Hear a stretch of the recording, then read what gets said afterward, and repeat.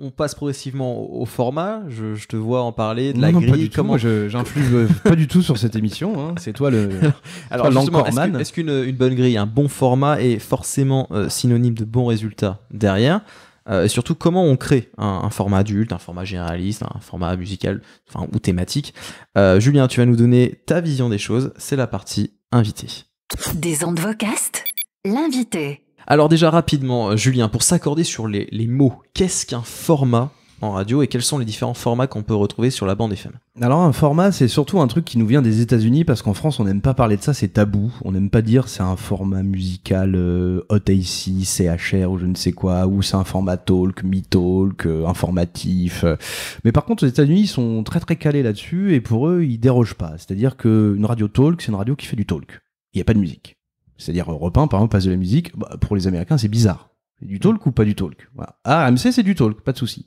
Et les Américains, au niveau musique, par contre, au niveau des formats, quand ils te disent nous, c'est un format CHR, donc c'est-à-dire un format avec de la musique contemporaine, donc c'est uniquement la musique du moment. Et donc c'est impossible pour eux sur ce format-là d'avoir un Bob Marley.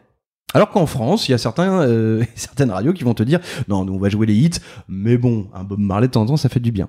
Voilà. Donc les formats, ce qu'il faut s'imaginer, c'est que c'est surtout un truc américain et qu'on essaye plus ou moins euh, de retranscrire en France. Mais attends, on, dit justement que les radios sont trop formatées. Est-ce que c'est pas justement à cause de ça?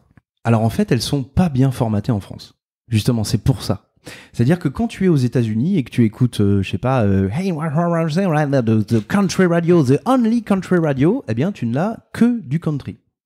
Par exemple, il y a des radios à Los Angeles il y en a une qui dit dans son claim, c'est-à-dire dans sa, dans sa baseline, c'est-à-dire dans son slogan de radio, elle dit Ici on passe les meilleurs hits sans rap. C'est marrant ça. Voilà, nous ça nous viendrait pas à l'idée. Et donc quand tu écoutes cette radio-là, tu te dis bah il y a les meilleurs hits et pas de rap. et donc en France, si les radios sont si formatées, c'est que justement on ne sait pas les formater. Une radio qui n'est pas formatée aujourd'hui parce qu'elle est justement très formatée, c'est Skyrock. Skyrock n'est pas formatée, elle est formatée. Tu comprends un peu le délire ou pas Je comprends. Voilà, c'est-à-dire que Skyrock passe du rap. 100% de rap pas de souci là-dessus, on est sur du rap et il y a pas moyen, voilà. Et quand ils ont perdu de l'audience, c'est quand ils ont justement ouvert un petit peu au David Guetta, la dance et tout ça. Et quand ils se sont recentrés sur le rap, ça a fonctionné. On parlait tout à l'heure de WeFM, pareil, voilà.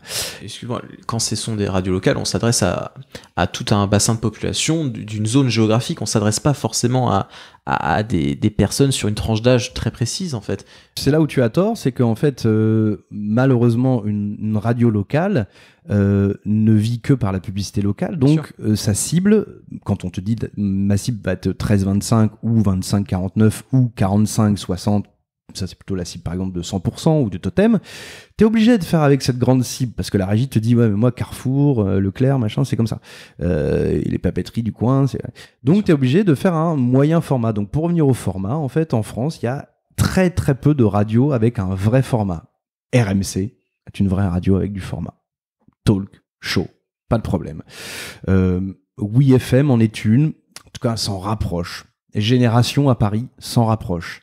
Skyrock en est une. Voilà. Fun Radio a tenté d'en être une à un moment, mais c'est vrai que quand tu dis le son dance floor et que tu prends Dajou dans la gueule, tu te dis est-ce que c'est vraiment dance floor? À l'inverse de certaines radios espagnoles comme Flash par exemple à Barcelone ou des, radios américaines, où quand ils te disent le son dance floor, mais c'est le son dance floor, c'est-à-dire que t'as pas de problème, c'est-à-dire qu'à n'importe quel moment, tu as du dance floor toute la journée, toute la nuit, le week-end, le soir, le matin, le dimanche, le lundi. Hmm.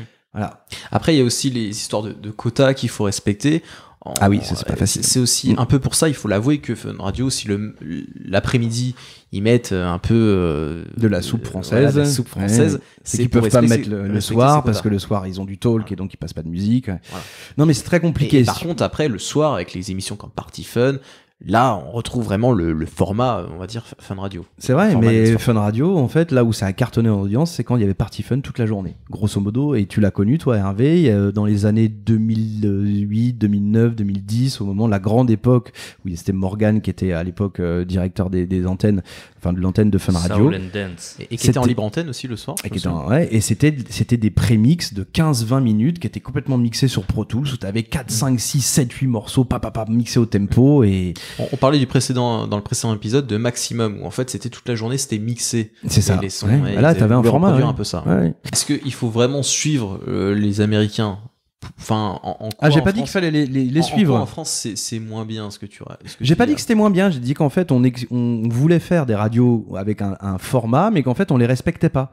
Euh, et que les seules radios qui faisaient vraiment un format, en fait, soit elles performaient en audience, mais elles n'avaient pas de rentrée publicitaire type Skyrock, c'est quand même compliqué de vendre de la pub sur Skyrock, même si ça fonctionne en audience, parce que. mais c'est parce que c'est plus adressé à un public urbain et forcément urbain, il y a moins de thunes. Faut, faut le dire.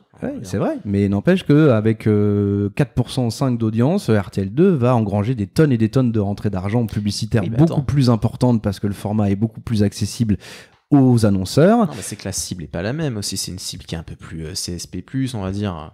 Eh bien, c'est pour ça qu'en fait, la réponse au format, c'est que en France, le format, c'est l'annonceur. Et il y, a, y a très peu de radios en France qui disent rien à foutre de Leclerc, on va faire notre programme de A à Z et viendront ensuite les annonceurs. Est-ce qu'on peut pas dire qu'il y a des formats en web radio du coup?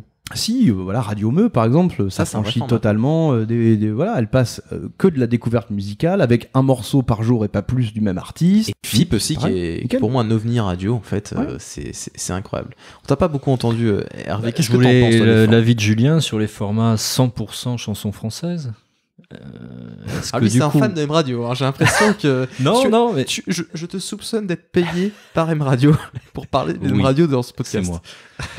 en fait, je, je, me demande si on fait pas, euh, avec le format 100% chanson française, un truc hyper élaboré, alors qu'à la base, c'est une idée toute con. C'est que quand. Enfin, je sais pas, hein, franchement, je parle sans savoir. Mais à mon avis à partir de la loi de 95 où il y a eu les quotas à 40%, bon, Skyrock s'est engouffré dans la brèche en passant du rap et c'était une excellente idée et ça a fait toute la notoriété. Il y a plein de choses à dire sur Skyrock, mais c'est vrai que ça a été génial.